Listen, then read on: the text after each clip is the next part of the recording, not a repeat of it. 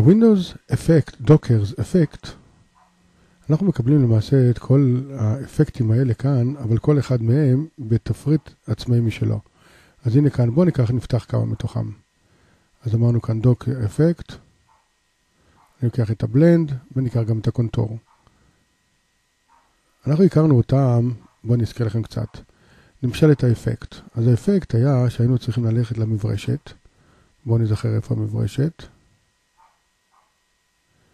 באיזשהו מקום שם למטה.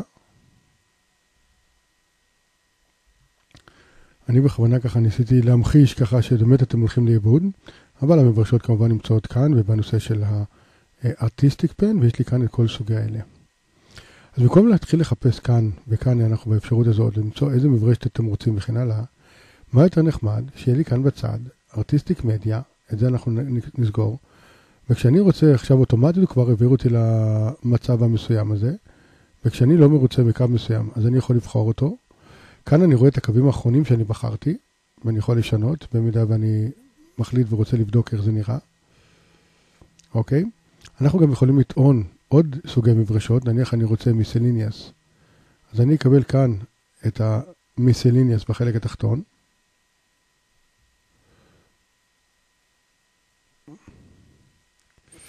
אוקיי, כמובן לא בצורה כמו שאני עושה כאן, אבל אפשר להשתמש בהם באמת אה, בכלים האלה בצורה נחמדה שם. אז זה היה ארטיסטיק מדיה, למשל. בואו נזכר רגע בקונטור. קונטור זה היה צורה מסוימת, שאתם ניגשים כאן לסרגל הזה ובוחרים בקונטור, ואז האייקונים פה למעלה משפיעים. אפשרות נוספת זה לפתוח כאן בצד.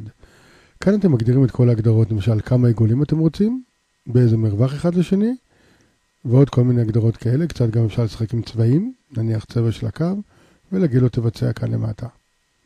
אם רוצים לשנות משהו, נניח בצורה שכזאת, אומרים לו apply והוא משתנה.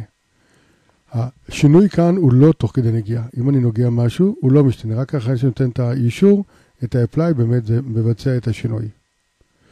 או הנה כאן דוגמה שכזאת, או את מספר המרווחים. כאן הלכתי למרכז, אז הכמות לא חשובה כאן. אבל באפשרות הזאת בהחלט כן. אם אני אשנה, רק 4. אני לא רואה את זה. כאן אומר לו apply, אני רואה.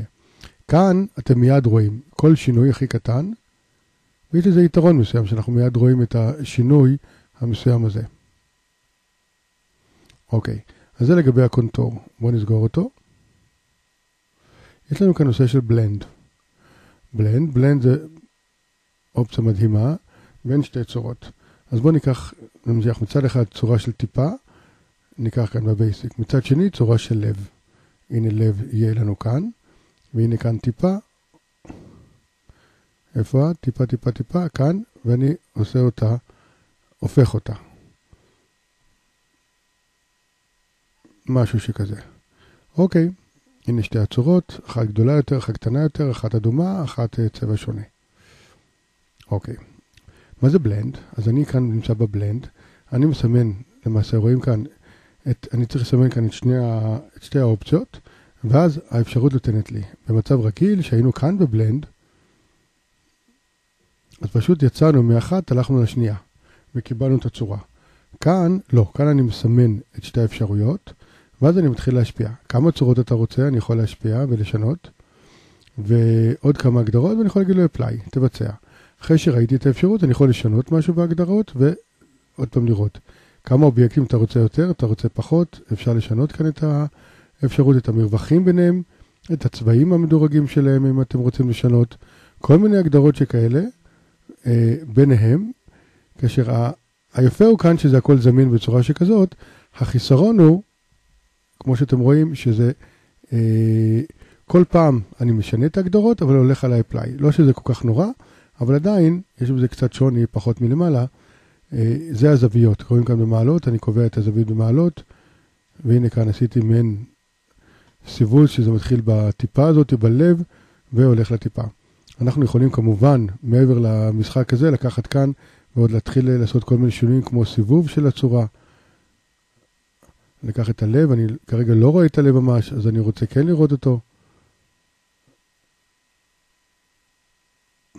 והנה אני אקח אותו שחלקו התחתון יראה, יראה לנו, ואז באמת הוא נבנה בצורה שכזאת, אופציה בהחלט מקסימה. אז גם זה מעניין, גם זה מעניין, רק שכאן אני מזכיר, צריכים לסמן את הכל כדי לבצע את ההשפעות.